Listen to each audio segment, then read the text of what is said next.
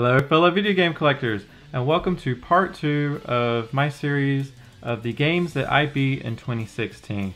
If you missed the first video, I'll have a link down in the description below so you can go check that out and see the first 11 games that I talked about of the games that I beat in 2016. And so now on to the rest of the games that I beat. So the first game of today that I'm going to talk about is Star Fox Zero. So oh boy, this game here. It's not what I wanted it to be at all. Nintendo really only had one job with this game, and that was to make a good Star Fox game. And technically they did, but they just completely gimped this game by forcing everyone to use motion controls. And not only did they do that, but they didn't even make them optional at all, which was just a huge mistake. Because honestly, I really like this game. Uh, it's a nice rehash of Star Fox 64, you know, just with much better graphics and, you know, it's still a great arcadey shoot 'em up game. But the controls just absolutely kill this game. And unsurprisingly, Nintendo has yet to patch in a way to play the game without, you know, using these motion controls. And they probably never will despite the fact that a large number of people that have played this game have just, you know, complained about it so much. So I did manage, however, to play through this game and, and beat it once, but then I just put it down and I just, you know, haven't ever picked it up again to, to give it another shot. And I, and I just don't really have a desire to. I, I just felt like that I was spending more time in this game fighting against the motion controls than I was fighting against the enemies on the screen. And I know some people will say, get good, and I just don't think that I should have to do that. Um, I shouldn't have to struggle so much to get better at this game. It, it just wasn't fun for me. And it's just really disappointing too because you know Nintendo is going to look at the poor sales of this game and just think, well, I guess they just don't want another Star Fox game. And so they'll probably never make another Star Fox game, all because of this huge failure with the motion controls. The next game that I beat was Doom. Uh, so this game right here is it is probably my first person shooter single player campaign game of the year for 2016 right here. It's that good. So initially I was very worried about this game I had tried the alpha and the beta of the multiplayer before it came out, and I just wasn't impressed at all with it. It was just very buggy and just wasn't a very good experience. And then for whatever reason, they decided to not pass out any early copies of this game for reviewers, and that was just a really big red flag to me and other people uh, that were interested in this game. But surprisingly, the single player campaign of this game is just awesome. It's action packed with you running around, shooting demons, and beating their skulls in. Uh, the the maps are just great. The uh, the character skill progression was you know I, I really enjoyed that a lot, and the soundtrack is just phenomenal. Uh, this game, it just gets you going and doesn't stop. If you like the original Doom games, then this game is a must-have. And the nice little cherry that they put on top of this game is that you are able to unlock some of the classic Doom levels in this game as hidden secrets. So those classic levels, they're played in the the game engine of this game, um, but it just makes it a lot of fun to find these secrets to unlock these levels. Now, as for the multiplayer, uh, it still doesn't really interest me that much, and so because of that, I haven't really touched it. And I also haven't tried out uh, the snap map feature, which is like the way uh, you can create levels for this game. But I have heard that people are making some really great levels with it. So again, the single player campaign is where it's at, and if you haven't played this game yet, go get it right now. The next game that I beat in 2016 was Xenoblade Chronicles 3D for the 3DS. I spent a lot of time in this game, probably a little bit too much, you know, because I hit the max level, I unlocked all of my character's abilities, and I did the vast majority of the quests in this game. Now, however, do note that this is one of the few games that you actually need to have a new Nintendo 3DS in order to play it. The game itself is a port to the 3DS of the original Wii version, which I have never played before, but uh, even given that, uh, it looks really good for a, a port from the Wii console. So I would say that this game is sort of like a solo MMO-like game. Uh, I say that because you have three characters in your party. Uh, you're really only controlling one of them. Uh, with the other two, they're just assisting you in, in combat, and and there are just a ton, just a ton of quests in this game. And I want to go ahead and say, you know, do not try to complete them all, especially on your first playthrough, because you will burn out. There's just so many of them, and it's because a lot of these quests are really just like fetch quests or you know kill so many enemies. And, and that's why i say this game is kind of mmo like in, in that regard. And so because of that it just gets really boring and repetitive after a while. On the other hand all of those quests they're they're not mandatory or required so you don't have to do them all and you really shouldn't but the story of this game is really good. Uh, definitely makes it worthwhile playing. So if you're looking for a nice RPG to play on your shiny new 3DS, then don't pass this one up. So the next game that I beat was a digital copy on PlayStation 4 of I Am Setsuna. So I actually did a full review of this game uh, when it first came out. I'll have a link down in the description below uh, where you can find that review video. But to sum up my points from the review, this game, I Am Setsuna, it, it's no Chrono Trigger, but it's as close as we're going to get to it. It plays pretty much uh, a, the same way as Chrono Trigger with a very similar combat system that, you know, has a few little tweaks to it. But the biggest problem of I Am Setsuna is just that it is incredibly linear. And in addition to that, there's no New Game Plus. So once you beat it, there's no real reason to go through and play it again. Which was, you know, a feature in Chrono Trigger that defined that game, you know, with all of the different endings, you know, it just had so much replayability, and this game just doesn't have it. I will say though that it's definitely worth checking out, uh, but I would only recommend picking it up uh, whenever it goes on sale on the PlayStation Store uh, or Steam because it's also on PC. Uh, because you know, sadly, it's a digital only title here in the United States. Uh, it did get a physical release back in Japan, but it didn't come over here physically. So therefore, uh, you know, there's no way to buy a used copy of the game. So pick it up whenever you see it on sale. The next game that I beat in 2016 was Baldur's Gate 2 Enhanced Edition. So I'm not really much of a PC gamer anymore, but I have very slowly over the past, you know, two or three years, uh, been replaying through the Baldur's Gate series, which is probably one of my favorite RPGs of all time. Well, so in 2016, I finally beat Baldur's Gate 2, which I think was probably the first time I ever beat it, uh, because I don't remember beating it when it first came out, uh, but I do know that I put a lot of hours into it and got pretty far into it. I just I don't think that I got to the end of the game. And still, technically, I need to play the expansion to Baldur's Gate 2, uh, The Throne of Bhaal. So hopefully I'll be able to get around to that this year. So, you know, with this being a bit of an older game, uh, is it worth playing today? Uh, if you're a die-hard RPG fan, uh, especially someone who really likes Dungeons and Dragons, then do yourself a favor and play this game. The enhanced editions uh, of this game on Steam or GOG uh, really makes the game playable again in a modern era. Uh, it still isn't, you know, the prettiest game ever, and it does suffer a bit because of the, you know, old second edition Dungeons and Dragons rules that it uses. But you need to play this game for the story and for the exploration. It's definitely one of my favorite RPGs of all time, and it is a must play for any fan of the RPG genre. Then I decided to replay Super Mario Bros. 3 Uh, not for the NES, but I played it on the Virtual Console, my 3DS.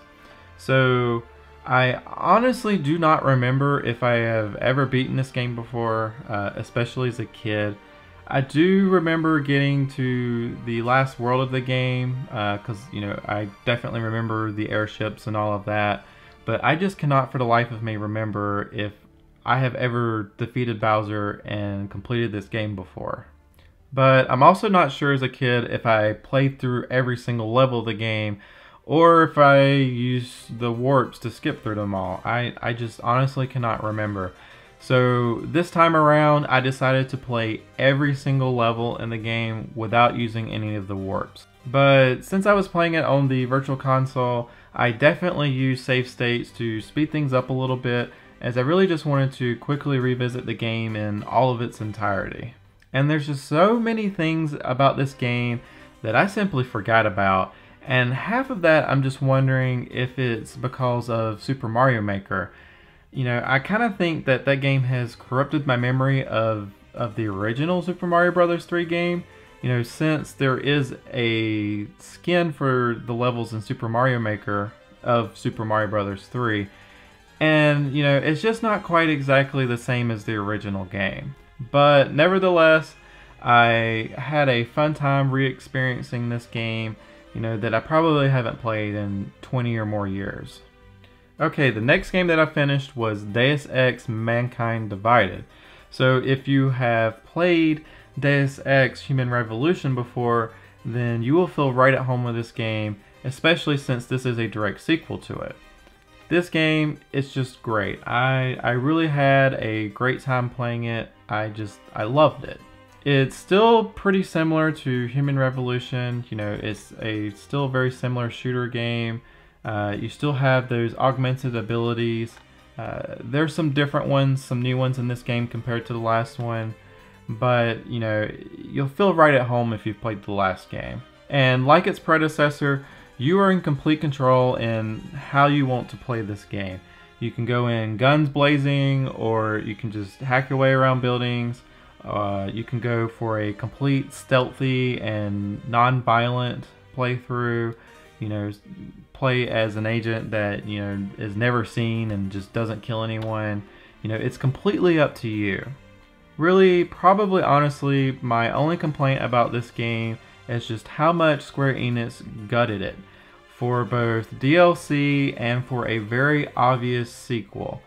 And you know, it, it was really frustrating because just when things got going in this game, it just, the game ends.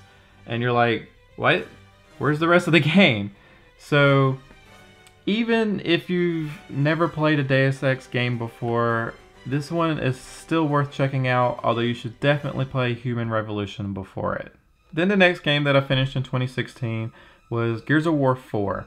I'm actually really glad to see another title in the main Gears of War series, uh, as I'm a really big fan of the franchise, and I really just love playing these games co-op with my friends. Now, I actually got a first look at this game by playing the beta of the multiplayer earlier in 2016, and you know, at that time I thought, you know, it was really good because the the multiplayer was a lot of fun and you know it reminded me a lot of what we saw with Gears of War 3. So the story of the campaign is also really solid and but really boy do I not recommend you playing this game on the hardest difficulty. My friend Chris and I we about pulled out all of our hair uh, trying to play this game on insane. Uh, we got almost halfway through the game and we just said screw it it's not worth it at all. So we dropped the difficulty down by one, and it was like night and day how much different the difficulty was. And because of that, it just became a much more enjoyable game. And the main reason for that is because we weren't constantly dying anymore. Because for some stupid reason, uh, you do not have that uh, down but not out. You know, when you get shot in Gears of War, you know, you go in that state of crawling around and someone can revive you. Well, when you're on insane difficulty, you just die. You know, you, you don't have any chance for your friend to come over and try and revive you. And since you just simply die on, on insane, it just makes it that much more challenging and frustrating. So being able to revive people in co-op, it, it just makes this game a lot easier and just so much more enjoyable. So even though I've already beat the game, I'm really looking forward to spending and pouring a lot of hours into the multiplayer of this game as it is just a blast to play. So the next game that I finished was Castlevania Symphony of the Night. Uh, I actually don't own this game physically anymore. Uh, I used to at one point in time. So I actually played this on my PlayStation Vita as it's a uh, PlayStation 1 classic title. So it was really great to be able to play that game on my Vita. You know, it was it's a, it's a lot better to play it that way as you can just you know pick it up and play it for a little bit and then put it down without having to necessarily worry about finding you know save points in the game. So it was around Halloween that I decided to replay this you know classic Castlevania game I probably haven't played it in, you know, at least 15 years. Uh, I've been wanting to replay it for quite a few years recently, but I just hadn't been able to find the time to play through it. I do remember playing it as a kid. Uh, I would stay up really late at my friend's house. Uh, we would take turns playing through the game until, you know, really late, early hours of the morning. Uh, you know, this game, I just have a lot of great memories with it. This is probably my favorite Castlevania game of all time. And, you know, it defined the new era of Metroidvania games. Uh, if you're not familiar with what Metroidvania games are, it it's you know games that are very similar to this one or Metroid, obviously. Um, you know, hence the the combination of the name Metroid and, and Castlevania. It, it's where uh, the player explores the game's map more by their choice than you know being forced down a linear path. So you know they can decide to go this way or that way. Although some parts of the map, you know, will be restricted until you know you, the player, finds uh, a new item or you get a new weapon or, or you unlock an ability that lets you get past those barriers. It's a fairly short game, especially if you don't get the true ending of the game. Uh, but even as a completionist, uh, and you get the real ending of the game, you should be able to do everything that the game offers you in about you know 20 hours or less.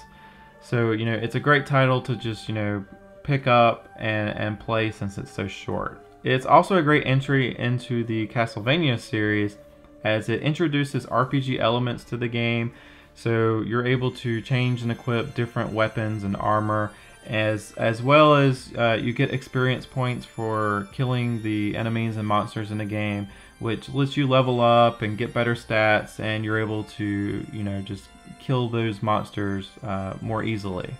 And if you're looking for a Castlevania game to play after this one then be sure to uh, look at the titles on the Game Boy Advance and DS uh, there's about uh, three or four for each console. They follow the uh, same formula as Symphony of the Night. Graphically, it holds up rather well for a nearly 20 year old game, and it has perhaps one of the you know best video game soundtracks of all time.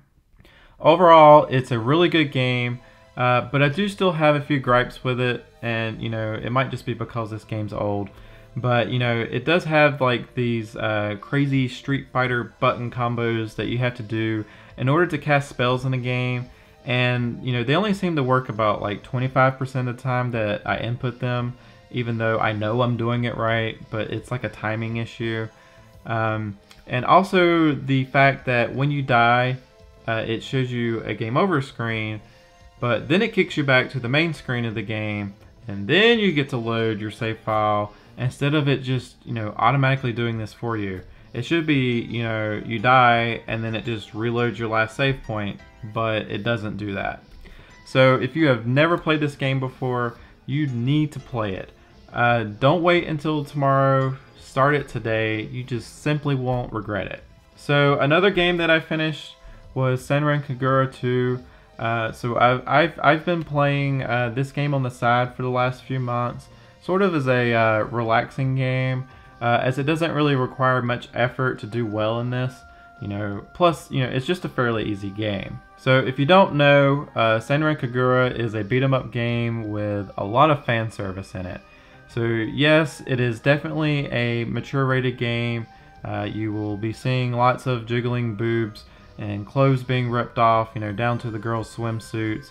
And because of that, uh, most people will probably just, you know, avoid avoid this game, or you know, if they do have it, they might avoid playing it out in public. But you know, honestly, it's really not that bad. And I thought it was just, you know, a really fun game. So you know, the story is really cheesy, uh, but that's not why you're playing this game. Uh, that would be for the beat 'em up gameplay, which is you know still really solid and enjoyable. However, you definitely don't want to marathon through this game. It gets pretty repetitive uh, pretty fast, so don't burn yourself out on it. You know, play a few missions and then, you know, go play something else. And then come back to it next time. Uh, you need to take like a 10, 30 minute break from something. I'm definitely going to start looking for the other Senran Kagura games since I really enjoyed this one so much. Uh, so be sure to check it out if you're just looking for, you know, a fun, quick beat 'em up game to play. And then the final game that I beat in 2016 was Rainbow Six Siege. So technically, there really is no beating this game as like 95% of it is online only, but bear with me. So this game is, it's very similar to Counter-Strike, you know, you have two teams, essentially uh, a team of terrorists and another team of counter-terrorists. So everyone has only one life per round, and each person gets to choose a specific and unique operator to play as. And each operator has, you know, their own set of weapons and a special ability that no other operator in the game has. So rounds are won either by defeating all the enemy players or completing the mission objective such as uh, rescuing a hostage or disarming a bomb. Uh, again, if you have played uh, Counter-Strike before, then this is very familiar territory. Additionally, there is a terrorist hunt mode, which is a uh, co-op mode where uh, you go out on the map and you kill all of the computer players, uh, which are terrorists, or you do other objectives, you know, similar to the multiplayer matches. Uh, so this this mode of uh, terrorist hunt is basically the same uh, of what you would find in the previous Rainbow Six installments. And then finally, uh, there is an operations mode, which is the only single player content of the entire game. Uh, it's really just a glorified set of tutorials to get you, you know, used to the game, you know, how it plays, and it does that by putting you in these very specific situations uh, that kind of mimic online play, uh, but again, it's only against computer players. There are also additional challenges for each operation, which uh, gives you additional uh, in-game currency, which you can then use to buy uh, new operators or attachments to your guns. So this game is fantastic. It's probably my multiplayer game of the year. Why? Because, you know, it's so much like Counter-Strike, which is a game that I just, you know, loved and played so much, you know, years ago. But it's just more realistic and strategic.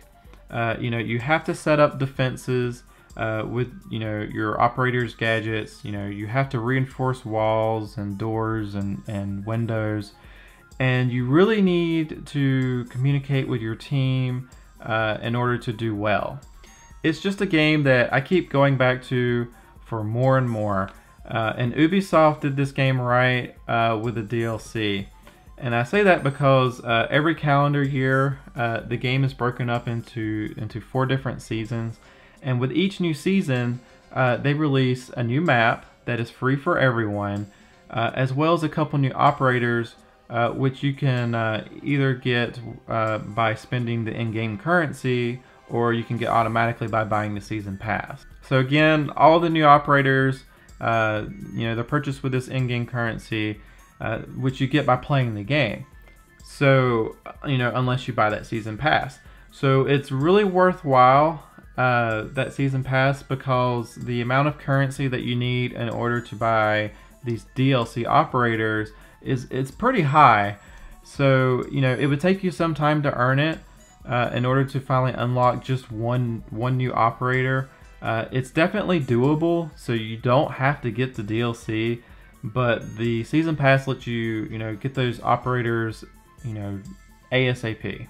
And so this is the kind of DLC that I really like because you aren't segregating your community uh, because only some people bought the DLC. Uh, everyone has access to it one way or another. And to me, the season pass is just more of a tip bucket.